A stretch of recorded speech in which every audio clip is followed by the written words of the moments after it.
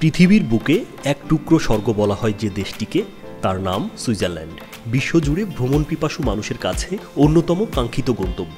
সুইজারল্যান্ডে আসা পর্যটকদের কাছে রাইন ফল বা রাইন জলপ্রপাত খুবই জনপ্রিয় একটি নাম। এটি শুধু যে সুইজারল্যান্ডের সবচেয়ে বড় জলপ্রপাত তা নয়, বরং ইউরোপের অন্যতম শক্তিশালী ও বড় জলপ্রপাত এটি।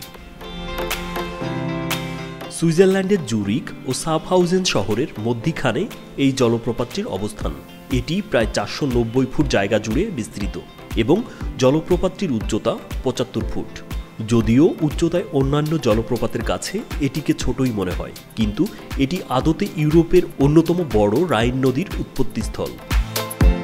এই নদীটি সুইজারল্যান্ড ছাড়াও জার্মানি, নেদারল্যান্ড ও অস্ট্রিয়ার অর্থনীতি ও ট্যুরিজম উভয় সেক্টরেই বড় ভূমিকা রেখে চলেছে।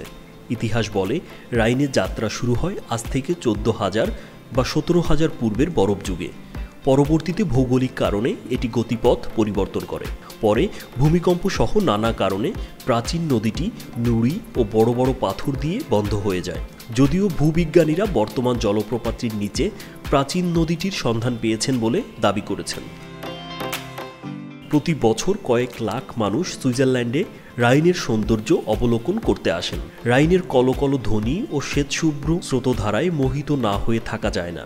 গুরু গম্ভীর হাসতে না পারা মানুষটিকেও যদি এই জলপ্রপাতের সামনে নিয়ে আসা হয়, তার মুখেও শোনা যাবে বিস্ময় ধ্বনি। পুরোটা রাস্তা জুড়ে সবুজের সমারোহে যখন আপনি হারিয়ে যেতে শুরু করবেন, ঠিক তখনই কানে আসবে কুলুকুলু পানি বয়ে যাওয়ার শব্দ। সেই শব্দ কানে নিয়ে আরেকটু এগোতেই শোনা যাবে ভয়াবহ গর্জন। সেই মুহূর্তেই আপনার মনে হবে যেন আপনাকে স্বাগত জানাতেই এমন শব্দে আছড়ে পড়ছে কয়েক লাখ গ্যালন পানি। মুহূর্তেই সুর ঝঙ্কার তুলে মিশে যাচ্ছে স্রোতের সাথে। এভাবেই হয়তো আরও কয়েকশো বা কয়েক হাজার যুগ বয়ে চলবে সে।